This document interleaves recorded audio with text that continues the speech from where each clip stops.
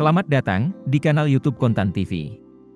Pada video ini kita akan membahas khusus peruntungan sio pasangan Ganjar Mahfud di tahun Kongzili Nagakayu 2024. Tahun baru Imlek 2575 akan segera tiba, dan masyarakat penasaran dengan prospek serta peruntungan yang akan membawa keberuntungan di tahun Sio Nagakayu.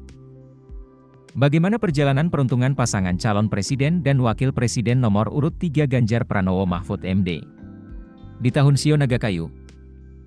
Ganjar Pranowo, yang lahir pada 28 Oktober 1968, dinaungi Sio Monyet dengan elemen tanah menurut astrologi Cina. Bagi Sio Monyet, tahun 2024 akan membawa keberuntungan dalam karir.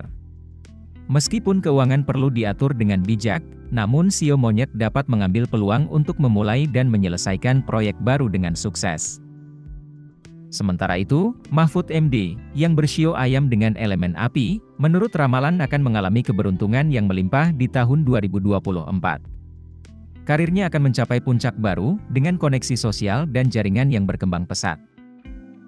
Menurut ramalan, Sio Ayam, termasuk Mahfud MD, akan mengalami kesuksesan besar dalam pekerjaan, baik sebagai profesional atau wirausaha. Bagi yang baru memasuki dunia kerja, tahun ini menjadi saat yang menguntungkan untuk mengembangkan karir. Di sisi percintaan, Sio Ayam cukup optimistis. Baik untuk yang sudah menikah maupun yang masih menjomblo, tahun ini membawa stabilitas, keharmonisan, dan kesempatan bertemu dengan calon pasangan. Dari segi keuangan, Sio Ayam diprediksi beruntung, meskipun perlu berhati-hati agar tidak kehilangan uang dengan mudah. Pemahaman dasar mengelola keuangan dan kewaspadaan sangat dianjurkan.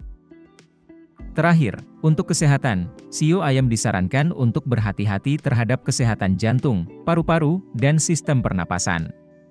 Pemeriksaan rutin menjadi kunci menjaga kesehatan yang optimal.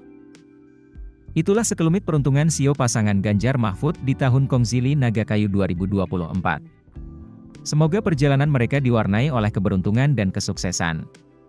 Terima kasih telah menyimak, dan selamat menyambut tahun baru Imlek yang penuh harapan.